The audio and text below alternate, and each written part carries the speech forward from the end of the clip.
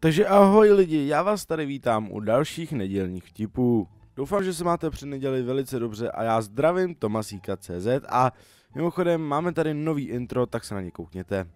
Three, two, one.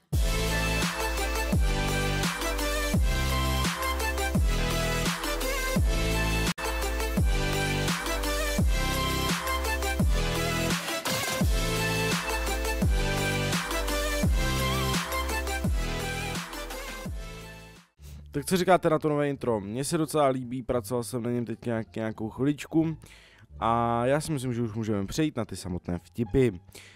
Jacka Norrise nerozpláče cibule. Jack Norris rozpláče jí. Poslanec a bezdomovec. Zazobaný poslanec potká bezdomovce, který naléhá. Už 14 dní jsem nic nejedl. A poslanec na to říká, a proti čemu protestujete? Tetí, tatínek se ptá svého osmiletého synka, co by si chtěl letos k narozeninám. Na to synek odpoví, menstruační tampony. Tatínek se zarazí a říká, víš ty vůbec, co to je? Na to synek odpovídá, nevím, ale v televizi jsem slyšel, že si s tím dá dobře hrát tenis, plavat, jezdit na kole i skákat padákem. Ženská za volantem je jako hvězda na nebi. Ty ji vidíš, ale ona tebe ne. Láďa takhle přišel domů opilý. Dýchl na psa a pes nic. Dýchl ještě jednou a pes znova nic. Potom dýchl na manželku a ta štěkala až do rána. Blondýna a bruneta jsou na safari a najednou na ně zaútočí lev. Bruneta mu rychle hodí písek do očí, zavře se v autě a volá na blondýnku. Nečum a, a taky si rychle zalez do toho auta, nebo tě sežere. Blondýna, proč mě? Hele, já mu písek do očí nehodila.